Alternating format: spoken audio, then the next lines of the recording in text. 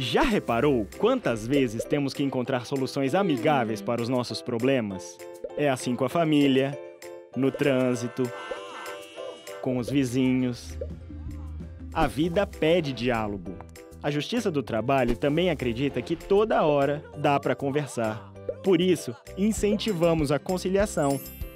Quarta Semana Nacional da Conciliação Trabalhista, de 21 a 25 de maio. Sempre dá para conciliar.